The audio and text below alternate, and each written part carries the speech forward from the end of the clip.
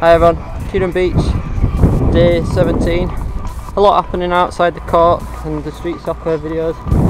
So it's kind of a bit of a stressful period, but uh, a lot of good things. I've just been practicing some Akka practice over there where I filmed the other day. Um, that was funny. In the practice bit, I hit it every time.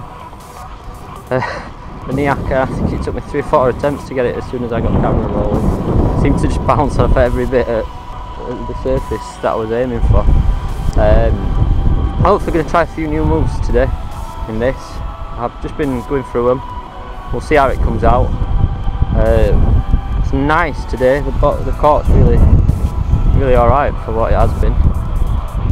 Uh, ball's muddy because I've just been doing that after practice. Get through it anyway, thank you again to anyone who's commented, given me ideas and shared the videos. Uh, subscribe to the channel, it means a lot. Um, enjoy the video guys.